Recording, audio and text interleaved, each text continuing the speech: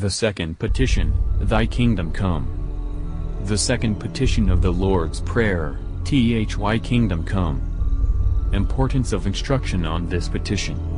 The kingdom of heaven which we pray for in this second petition is the great end to which is referred, and in which terminates all the preaching of the gospel, for from it St. John the Baptist commenced his exhortation to penance, do penance, for the kingdom of heaven is at hand. With it also the Savior of the world opened his preaching. In that admirable discourse on the mount in which he points out to his disciples the way to happiness, having proposed, as it were, the subject matter of his discourse, our Lord commences with the kingdom of heaven, blessed are the poor in spirit, for theirs is the kingdom of heaven. Again, to those who would detain him with them, he assigns as the necessary cause of his departure, to other cities. Also, I must preach the kingdom of God, therefore am I sent. This kingdom he afterwards commanded the apostles to preach. And to him who expressed a wish to go and bury his father, he replied, Go thou, and preach the kingdom of God.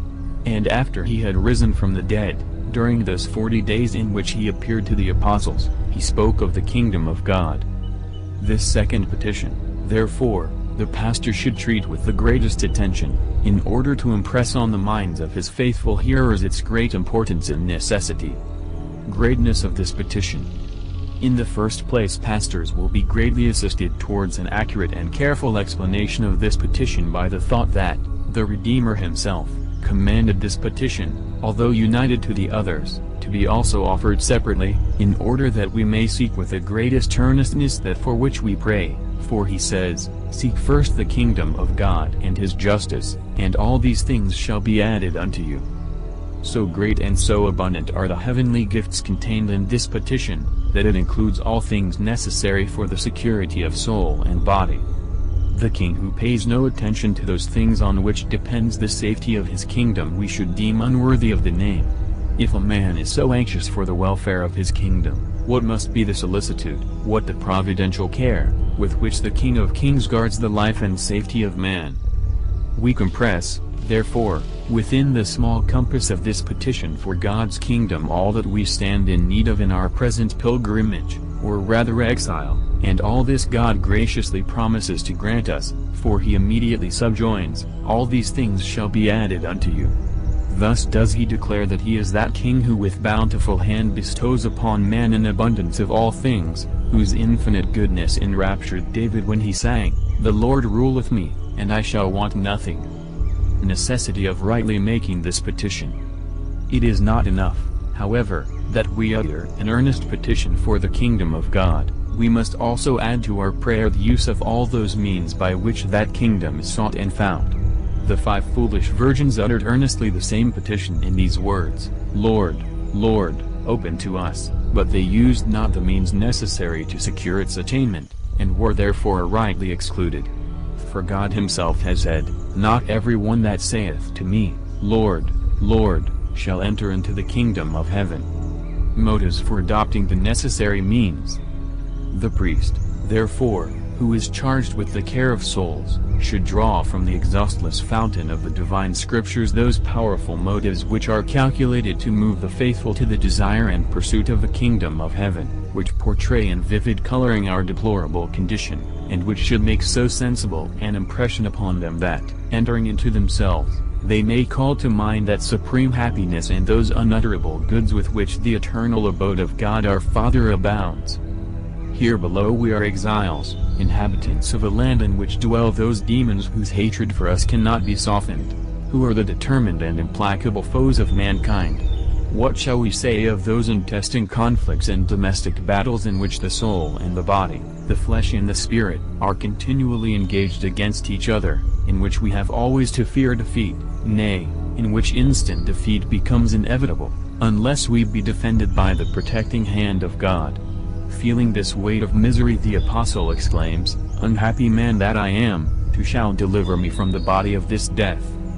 The misery of our condition, it is true, strikes us at once of itself, but if contrasted with that of other creatures, it strikes us still more forcibly. Although irrational and even inanimate, the lower creatures are seldom seen so to depart from the axe, the instincts and the movements imparted to them by nature, as to fail of obtaining their appointed and determined end. This is so obvious in the case of beasts, fishes and birds that there is no need to dwell on it. But if we look to the heavens, do we not behold the verification of these words of David? Forever, O Lord, thy word standeth firm in the heavens. Constant in their emotions, uninterrupted in their revolutions, they never depart in the least from the laws divinely prescribed. The earth, too, and universal nature, as we at once perceive, adhere strictly to, or at least depart but very little from the laws of their being. But unhappy man is guilty of frequent falls. Seldom does he carry out his good resolutions, often he abandons and despises what he has well commenced, his best purposes which pleased for a time, are often suddenly abandoned, and he plunges into designs as degrading as they are pernicious. What then is the cause of this misery and inconstancy? Manifestly a contempt of the divine inspirations. We close our ears to the admonitions of God, our eyes to the divine lights which shine before us, nor do we hearken to those salutary commands which are delivered by our Heavenly Father. To paint to the eyes of the faithful the misery of man's condition, to detail its various causes, and to point out the efficacious remedies are, therefore, among the objects which should employ the zealous exertions of the pastor. In the discharge of this duty, his labor will be not a little lightened if he consults what has been said on the subject by those holy men, John Chrysostom and Augustine, and still more if he refers to our exposition of the Creed. For with the knowledge of these truths, who will be so obstinate in sin as not to endeavor, with the help of God's preventing grace, to rise, like the prodigal son spoken of in the Gospel, to stand erect, and hasten into the presence of his heavenly Father and King. Thy kingdom. Having pointed out the advantages to be derived by the faithful from this petition, the pastor should next explain the favors which it seeks. This becomes the more necessary as the words, Kingdom of God, have a variety of significations, the exposition of each of which will not be found without its advantages in elucidating other passages of Scripture, and is necessary to a knowledge of the present subject. The Kingdom of Nature In their ordinary sense, which is frequently employed by Scripture, the words, Kingdom of God, signify not only that power which God possesses over all men and over the entire universe, but, also, his providence which rules and governs all things. In his hands, says the prophet, are all the ends of the earth. The word ends includes those things also which lie buried in the depths of the earth, and are concealed in the most hidden recesses of creation. In this sense Mardochus exclaims, O Lord, Lord, Almighty King, for all things are in thy power, and there is none that can resist thy will, thou art God of all, and there is none that can resist thy majesty. The Kingdom of Grace By the Kingdom of God is also understood the special and singular providence by which God protects and watches over pious and holy men. It is of this peculiar and admirable care that David speaks when he says, The Lord rules me, I shall want nothing, and Isaiah, the Lord our King he will save us. But although, even in this life, the pious and holy are placed, in a special manner, under this kingly power of God, Yet our Lord himself informed Pilate that his kingdom was not of this world, that is to say, had not its origin in this world, which was created and is doomed to perish. In this perishable way power is exercised by kings, emperors, commonwealths, rulers, and all whose titles to the government of states and provinces is founded upon the desire or election of men, or who have intruded themselves, by violent and unjust usurpation, into sovereign power. Not so Christ the Lord, who, as the prophet declares, is appointed king by God, and whose kingdom, as the apostle says, is justice, the kingdom of God's justice and peace, and joy in the Holy Ghost. Christ our Lord reigns in us by the interior virtues of faith, hope and charity. By these virtues we are made a portion, as it were, of his kingdom, become subject in a special manner to God, and are consecrated to his worship and veneration so that, as the apostle could say, I live, yet not I, but Christ liveth in me, we too are able to say, I reign, yet not, but Christ reigneth in me. This kingdom is called justice, because it has for its basis the justice of Christ the Lord. Of it our Lord says in St. Luke, The kingdom of God is within you. For although Jesus Christ trains by faith in all who are within the bosom of our Holy Mother, the Church, yet in a special manner he reigns over those who are endowed with a superior faith, hope and charity, and have yielded themselves pure and living members to God. It is in these that the kingdom of God's grace is said to consist. The kingdom of glory. By the words kingdom of God is also meant that kingdom of his glory, of which Christ our Lord says in St. Matthew, Come ye blessed of my Father, possess the kingdom which was prepared for you from the beginning of the world. This kingdom the thief, when he had admirably acknowledged his crimes, begged of Christ in the words related by Street, Luke, Lord, remember me, when thou comest into thy kingdom. Of this kingdom St. John speaks when he says, Unless a man be born again of water and the Spirit, he cannot enter into the kingdom of God, and of it the Apostle says to the Ephesians, No fornicator, or unclean, or covetous person, which is a serving of idols, hath inheritance in the kingdom of Christ and of God.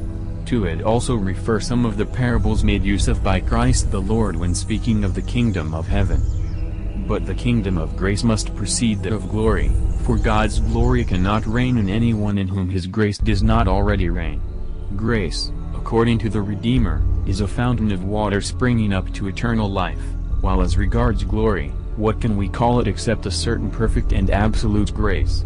As long as we are clothed with this frail mortal flesh, as long as we wander in this gloomy pilgrimage and exile, weak and far away from God, we often stumble and fall, because we rejected the aid of the kingdom of grace, by which we were supported.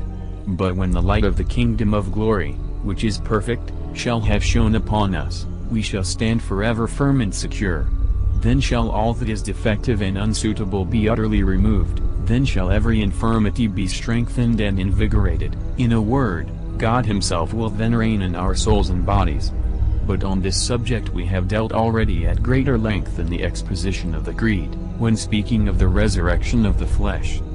Come. Having thus explained the ordinary acceptation of the words, Kingdom of God, we now come to point out the particular objects contemplated by this petition. We pray for the propagation of the Church. In this petition we ask God that the kingdom of Christ, that is, His Church, may be enlarged, that Jews and infidels may embrace the faith of Christ and the knowledge of the true God, that schismatics and heretics may return to soundness of mind, and to the communion of the Church of God which they have deserted, and that thus may be fulfilled and realized the words of the Lord, spoken by the mouth of Isaiah, enlarge the place of thy tent, and stretch out the skins of thy tabernacles, lengthen thy cords, and strengthen thy stakes, for thou shalt pass on to the right hand and to the left, for he that made thee shall rule over thee. And again, the Gentiles shall walk in thy light, and kings in the brightness of thy rising. Lift up thy eyes round about and see, all these are gathered together, they are come to thee, thy sons shall come from afar, and thy daughters shall rise up at thy side. For the conversion of sinners. But in the church there are to be found those who profess they know God, but in their works deny him, whose conduct shows that they have only a deformed faith, who, by sinning, become the dwelling place of the devil, where the demon exercises uncontrolled dominion.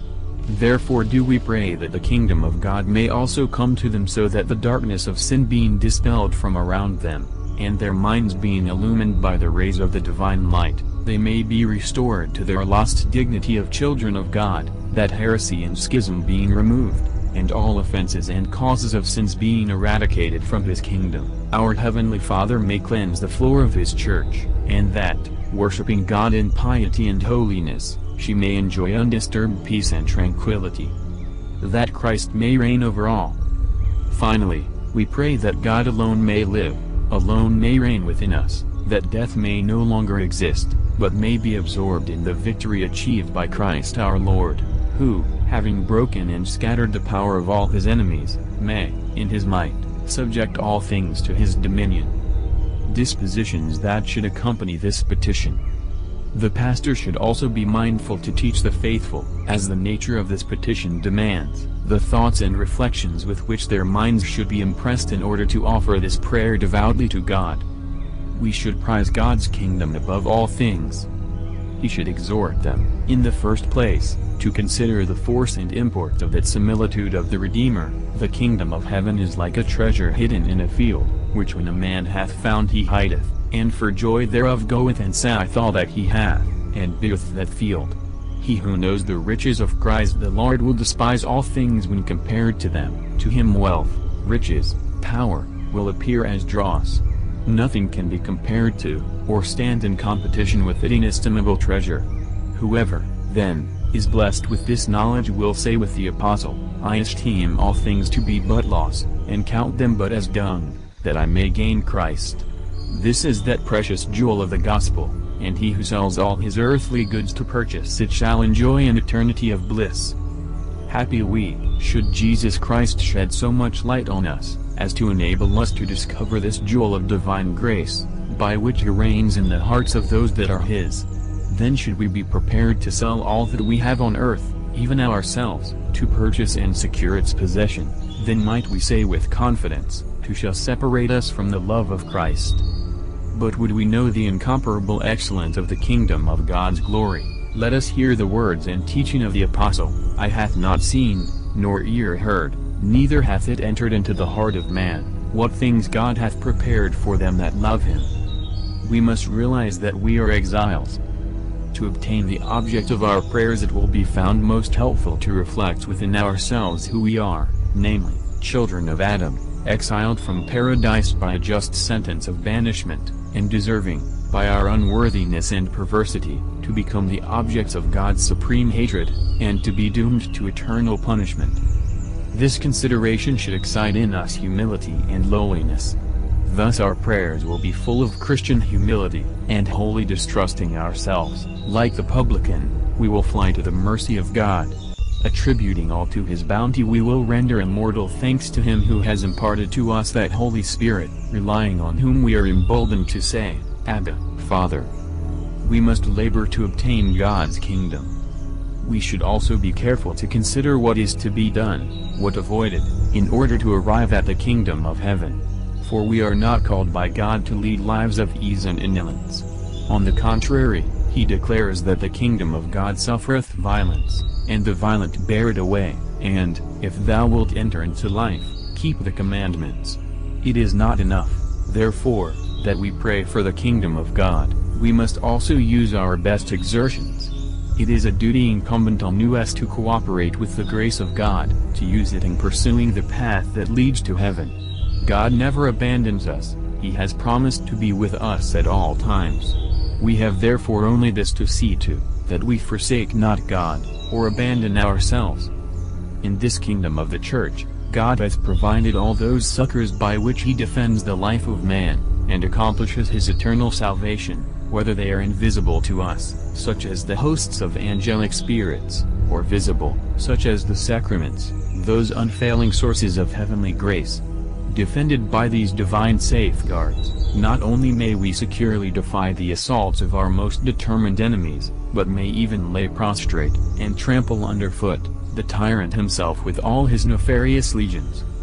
Recapitulation To conclude, let us then earnestly implore the Spirit of God that he may command us to do all things in accordance with his holy will, that he may so overthrow the empire of Satan that it shall have no power over us on the great accounting day, that Christ may be victorious and triumphant, that the divine influence of his law may be spread throughout the world, that his ordinances may be observed, that there be found no traitor, no deserter, and that all may so conduct themselves, as to come with joy into the presence of God their King, and may reach the possession of the celestial kingdom, prepared for them from all eternity, in the fruition of endless bliss with Christ Jesus.